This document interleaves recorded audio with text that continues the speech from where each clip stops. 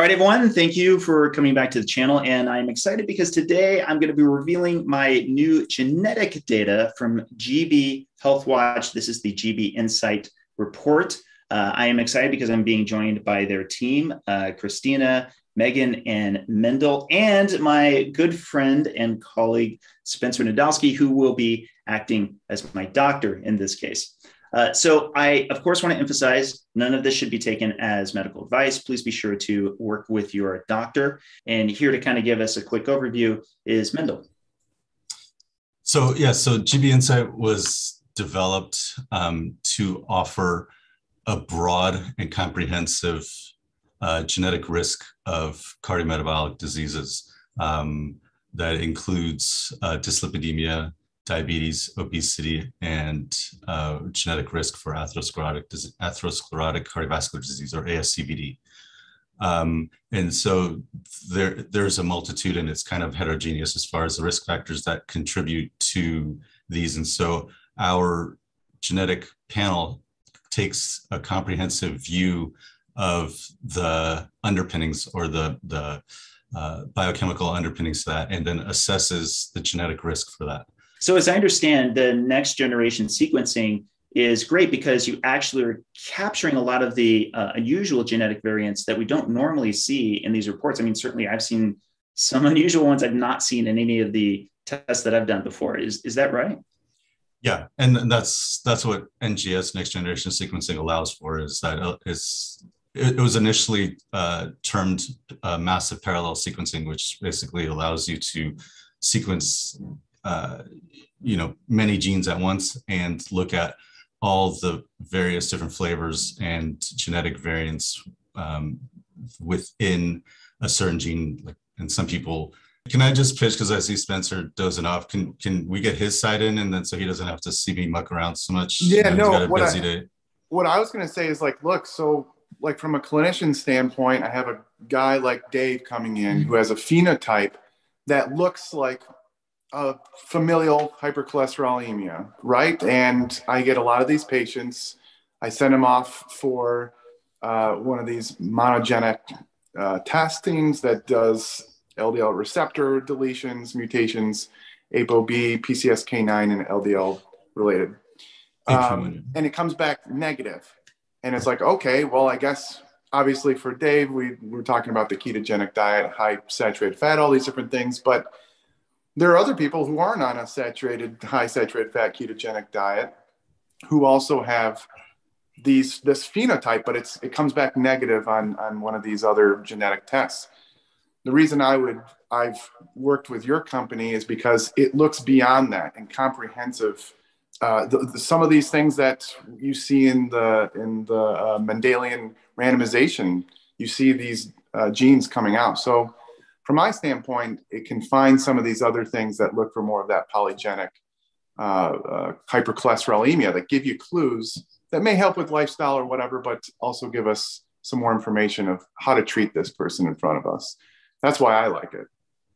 So with that, let's go ahead and jump into my data. Now, you may want to reference the prior video where I did the little swab test. I sent it in. A few weeks later, I get this report back. It's extremely comprehensive. There's really way more stuff than we're actually going to be able to uh, cover. Uh, so we're we're just going to kind of hit the headliners. And there was even one that Spencer texted. I didn't want to tell you because I wanted you to be surprised. so um, let's jump into it. We're gonna we're gonna actually get to uh, the part where it's actually in the summary. There's B variants of uncertain significance and high risk variants for which I have six that are listed. And the first of those is ABCG8. And um, I'm curious, um, Spencer, was this the one that you were the most interested in from the report? Yeah, I mean, obviously, I was interested in the whole, the comprehensive uh, scoring of it, but that is probably the most interesting one because you're on a high fat carnivore ketogenic diet, and that's one of these one of these little things. Uh, it's they call it the bilge pump. I know people follow Dr. Dayspring, talk about the Niemann-Pick C1 like protein that allows the sterols in, but then it, if you have some sterols that aren't supposed to be coming in, it, it shuttles it out. Now you have a mutation in that, so maybe there's some dysfunction. You're allowing too much sterol in and not pumping it back out. To clarify, kind of, to clarify you're talking dietary sterol. So di- the part you might skipped past is, in other words, food I'm consuming uh, in it are sterols, including cholesterol and phytosterols, and for that matter, how much my gut would absorb them in a normal circumstance could get altered by this genetic variant, correct? Yes, and that could explain some of your serum lipid levels. Good. Yes, and to be fair, another thing that you would ask, uh, of course, you already know my history fairly well, uh, even before we'd had a chance to meet, is how much there was perhaps higher cholesterol before I got on a ketogenic diet. We already know from my history that my LDL was closer to, say, 120s to 130s. And I think it's worth emphasizing just briefly that a lot of these variants that show a higher uh, preponderance of LDL from a genetic perspective often aren't that degree of difference in how high or how low they may be relative to what we see, uh, Spencer, certainly what we've seen in the population that we're looking at with lean mass hyperresponders. In other words, diet seems to have generally a much bigger effect in this context in being like say on a fat uh, being on a low carb high fat diet for those people who are especially lean and athletic and it's it's why it's a central focus for us and in, in our study um, Mendel, did you want to comment a little bit on the ABCG8? I look all the way to the far right column. It says likely pathogenic. Uh, mm. Mendel, does that mean I should be concerned about this this mutation in particular?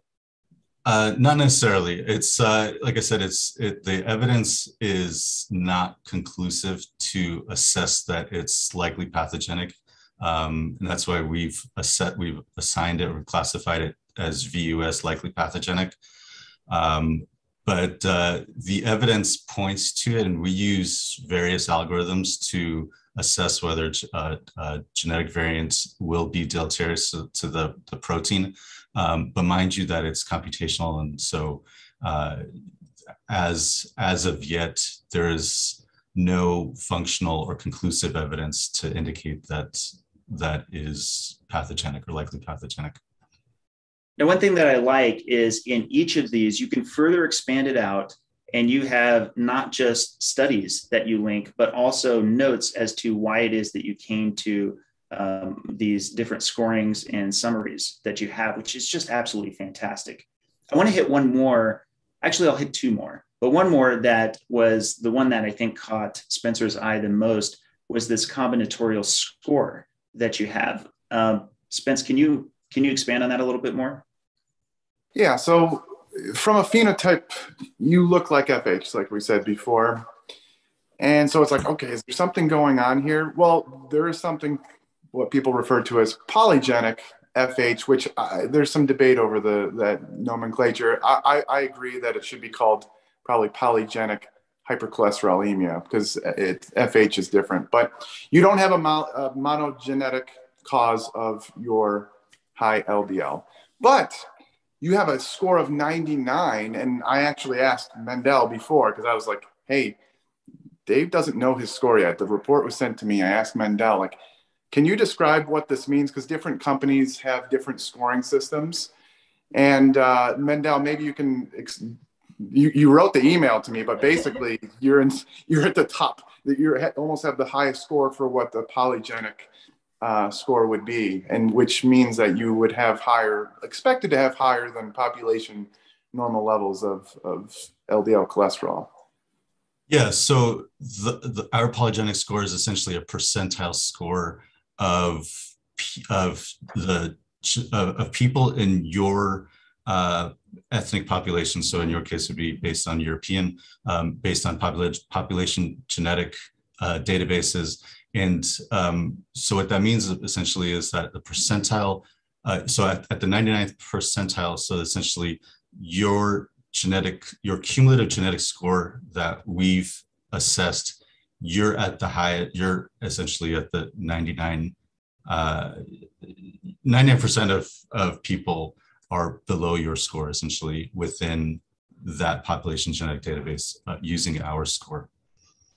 Now, so if, if if you don't mind, the thing is with this with your phenotype and doing this LMHR, there are a lot of skeptical people out there who think that this is all caused by gene- genetics, right? Like, but we actually, from a phenotype, phenotypical standpoint, you had population normal levels before doing this, and we even, you know, doing our study, that was part of our cutoff. We use the Dutch scoring system for FH to go like, look, we want to make sure using a phenotype that people likely don't have FH. But now, from a polygenic standpoint, there's something there. Now we don't know what it is for other uh, people that have ketogenic induced hypercholesterolemia. But for you, it's really interesting because it's like, okay, you do have a 99 here. I don't know.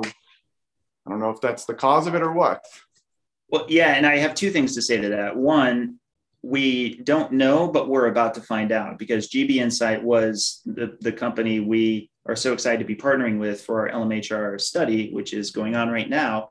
And so we're going to be getting a lot of that data back to, to find out. And I'm, I'm thankful that, that GB Health Watch is going to be doing a lot of the analysis for that. Uh, but the other part is, I think, and correct me if I'm wrong, Mendel, because we have talked about this a little bit offline before.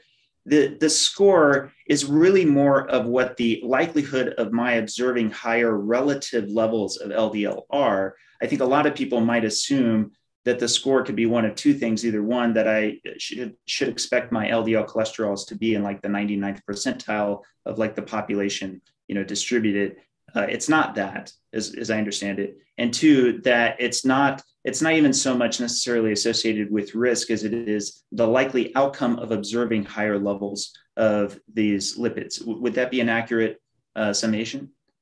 Uh, yeah and the, the like i said just just to qualify a little bit though is we are not making our our panel looks at the genetic uh, the cumulative genetic variants that will contribute to potential phenotype in this case uh, hypercholesterolemia um, we can't say there you know there, there isn't this linear sort of cause and effect between them because you know your your your all the other stuff that that goes into uh, you know your your lifestyle basically you know exercise and all the various things that you eat will also you know modify that.